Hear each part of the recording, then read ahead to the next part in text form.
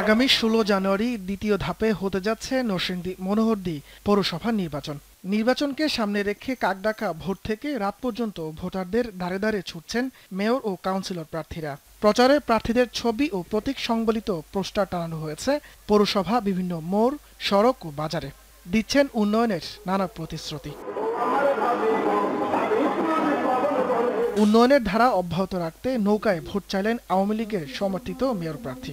যদি আমরা জয়ী হই তাহলে পৌরসভার যে সকল উন্নয়ন কর্মকাণ্ড মাস্টার প্ল্যান অনুযায়ী কিছুটা বাকি ছিল করোনা মহামারীর কারণে সম্পন্ন করতে পারি নাই সে উন্নয়নের ধারাবাহিকতা অব্যাহত থাকবে। আর সুষ্ঠু নির্বাচন হলে জয়ের ব্যাপারে আশাবাদী বিএনপির এই প্রার্থী। যে বিএনপির প্রতি মানুষের আস্থা আছে যে মানুষ মনে করে পৌরবাসী মনে করে যে বিএনপি যদি বিএনপি মেয়র হয় এখানে অ্যাকচুয়াল উন্নয়নটা হবে। মাঠে রয়েছেন কাউন্সিলর প্রার্থীরাও। রাস্তাঘাট মসজিদ মাদ্রাসা এতিমখানা প্রতিটা উন্নয়নমূলক কাজে আমার অবদান আছে এবং থাকবে। আমি যদি আবার নির্বাচিত হইতে পারি তাহলে আমার ওয়ার্ড দয় একশো ভাগ ডিজিটাল হয়ে যাবে।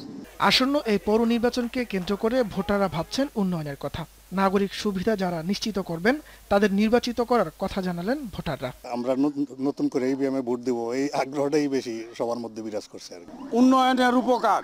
নান্দনিক সৎ যোগ্য লোককে মেয়র করতে চাই। সুষ্ঠু নির্বাচনে আইন শৃঙ্খলা সহ প্রয়োজনীয় উদ্যোগ নেওয়া হয়েছে বলে জানিয়েছেন রিটার্নিং কর্মকর্তা। আমাদের আইন শৃঙ্খলা পরিস্থিতি আচরণবিধি আমরা অত্যন্ত কঠোরভাবে এগুলো কন্ট্রোল করছি যাতে কোনো রকম নির্বাচনী পরিবেশে কোনো সমস্যা না হয়। দুই হাজার দুই সালে মনোহরদি পৌরসভা প্রতিষ্ঠিত হবার পর এবারই প্রথম ইভিএম এর মাধ্যমে তেরো হাজার সাতশো আটানব্বই জন ভোটার ভোটাধিকার প্রয়োগ করবেন। নিউজ ডেস্ক দেশ টিভি